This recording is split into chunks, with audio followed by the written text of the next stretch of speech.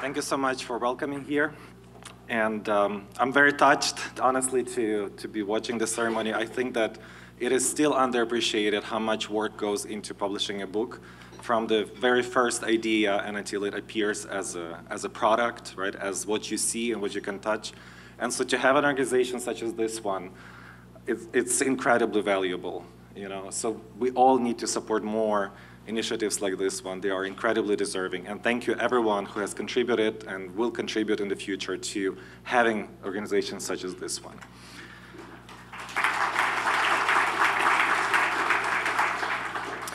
Like Iroida said earlier, Stanislav already said everything I could have possibly said about this book. So what, what remains for me is perhaps to um, say a few words at the end, but in the middle to let the book speak for itself I don't know how many of you had, have had the chance to read the book. It's incredibly powerful. It's difficult, but it's also uplifting. And I encourage every one of you to pick up a copy. I know that there will be some copies available as well, but also to encourage your friends and family, your colleagues, to read about it. It ends on a positive note, like, uh, like the jury member said, that um, you can remain a human being even after going through incredibly difficult, dehumanizing experiences. And so let me just read a short excerpt from the book for you. this is uh, at the very end of the book when Stanislav already is released after 28 months of being held in the, in the Izolyatsia torture camp. I remember going down to the Kyiv metro for the first time a week after being freed. I fell into shock. And not just because I had stepped into an endless current of people after more than two years in a small cell where I saw only the same few men month after month.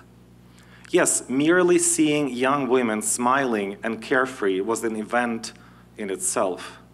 When I boarded the train, I think I experienced what the Buddhists call satori, an awakening, but in reverse. I stood by the door and noticed a young woman beside me scrolling on her phone through pages of baby clothes.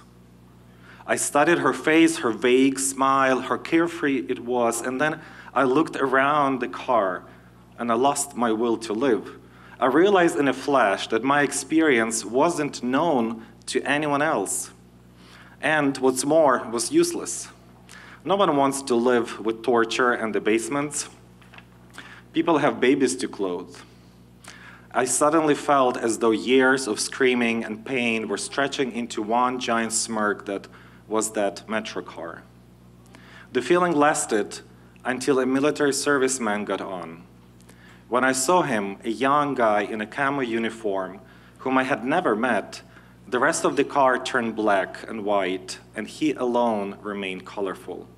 He became my only link to this still alien city for the sole reason that he was dressed in camouflage. I want to thank the translators who really deserve uh, proper applause for their work on this, on this, on this translation, Zenia Tompkins and Nina Murray.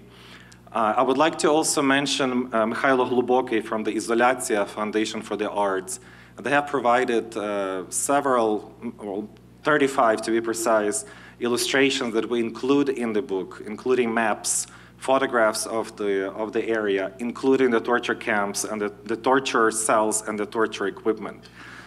Um, earlier today, uh, Marko Andryczyk has mentioned the cover of uh, the, the, other book that we published, Mondegreen, by Volodymyr Rafeyenko, and he pointed to that mayor's head that was depicted, that is depicted on the cover. Um, I would like to mention the designer who, who helped produce us that book because it's also connected to, to how we live these days. Um, the designer, the author of that artwork is um, our friend and colleague, poet, as well as designer, Mykola Leonovych. Uh, the mayor's head that you see on the cover is actually himself. Uh, he kind of cr created it out of papier-mâché, and then he took several photographs putting that big head on, his, on himself and then taking many photographs of that. Uh, similarly, for Oksana Kis's book, um, Survival is Victory, Ukrainian Women in the Gulag, he ended up photographing his wife and his mother holding hands to show that idea of female solidarity that Ukrainian women experienced in the camps. Um, and that just shows what kind of a person he is.